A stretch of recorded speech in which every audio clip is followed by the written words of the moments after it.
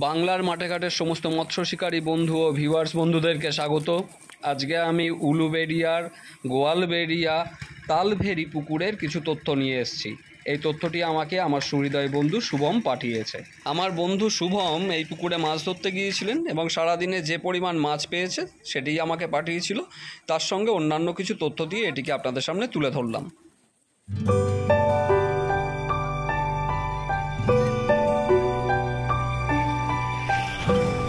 বেরিয়া তালভেরি পুকুর এই মালিক পরিতোষ দা। আপাতত পরিতোষ দাকেই দেখছেন আমি পরে মাছগুলো একসাথে দেখাচ্ছি। পরিতোষ দার এই পুরো পুকুরের সৌন্দর্য পুকুর খুব ভালো। আসা যাওয়া থাকার খাওয়ার সব ব্যবস্থা রয়েছে সব পরিতোষ দা নিজে হাতেই করে। পরিতোষ দার কিছু যদি বলার থাকে বলতে পারো। সবার কাছে একটাই অনুরোধ এসে দেখে যান একবার। মাছি ফেলতে হবে কি পরে ওটা পরে আর এসে দেখে যান। হ্যাঁ একদম ঠিক কথা। আর মাছটা আমি এক্ষুনি দেখাচ্ছি আমি সিটে গিয়ে মাছটাও দেখাচ্ছি। এই হলো সেই আজকের মাছ আমাদের রমেশ তুলছে। পাল্লার মাছ তিনটে আছে।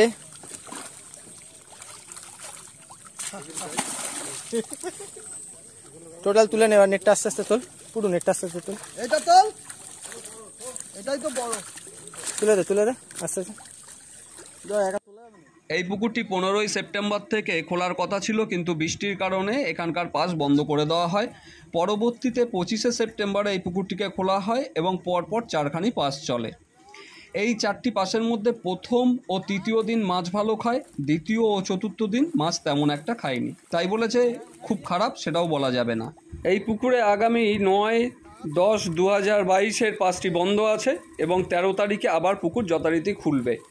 পুকুরটিতে আগামী দশ তারিখ, অর্থাৎ সোমবার, নতুন করে মাছ দেওয়ার একটি প্রোগ্রাম রাখা হয়েছে। আপনারা যদি দেখতে চান, এসে দেখতে পারেন। আমি বিদায় নিলাম। আবার আপনাদের সঙ্গে দেখা হবে নতুন কোনো ভিডিওতে।